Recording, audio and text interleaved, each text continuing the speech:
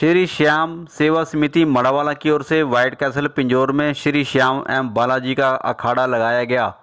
रविवार की रात को श्री श्याम सेवा समिति मड़ावाला पिंजौर की ओर से व्हाइट कैसल पिंजौर में श्री श्याम एवं बालाजी का अखाड़ा लगाया गया था। इस मौके पर यहाँ पंचकुला पिंजौर कालका सहित चंडीगढ़ और गाँव से हज़ारों की संख्या में श्रद्धालुओं ने जय श्री श्याम और जय श्री बालाजी के नाम पर व्हाइट कैसल में हाजिरी भरी।